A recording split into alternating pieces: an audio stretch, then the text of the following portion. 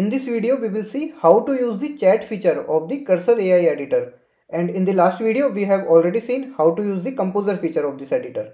So first of all to invoke the chat on keyboard we have to press command and L and if you are on Windows then it would be control and L. So this will open this chat like this and this is the drop down of models. So from here you can change the model and this drop down will show you all the models which are enabled in the cursor settings which we have already seen in the earlier videos. So for now i will keep this Claude a 3.5 sonnet. Now this chat option is used for multiple cases. Like let's say if we want to ask some question about our code or let's say we want some advice for our code and then we can even apply that suggested changes in our code. So this was our index.html which we had designed in the previous video. So this was the login page. So let me show you first how it looks like. So i'll right click and say reveal in finder. And i will open this from here. So this is how it looks like currently. Now we will ask some questions about the code. So i'll again go to the cursor. So this is my prompt. What is the background color of my login page? So let's hit enter so it is saying looking at the provided HTML code, there is no explicit background color defined in the HTML file itself. So it did not give the exact answer here. Okay, so I got it. It did not give the answer because it took the index.html as the context.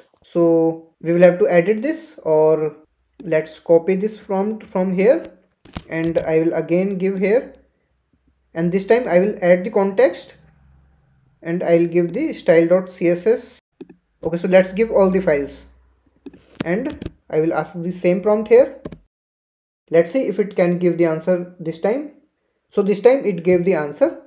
Based on the provided css file your login page has two relevant background colors. So the overall page background is this a light grayish blue color. So let's check that. So this is what our background is. So which is correct now let's say I want to change the color of my login button. So let's see what is the color at the present? So here this is the color of my login button for now. And let's say please change the color of login button to red. Okay so let's hit enter. So it has given the code to achieve the same.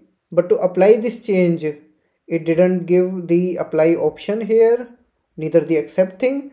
So now let's ask can you apply these changes in the relevant files? Okay so i hope this time we have the apply. Yes so this time we have this apply. So let's apply this. So it is now showing all the changes and let's accept this. Okay so let's open the page again. So i'll again go to the browser and i'll refresh this page. Okay so the code worked. So now the login button is red. Now you saw that how we can use this chat option here.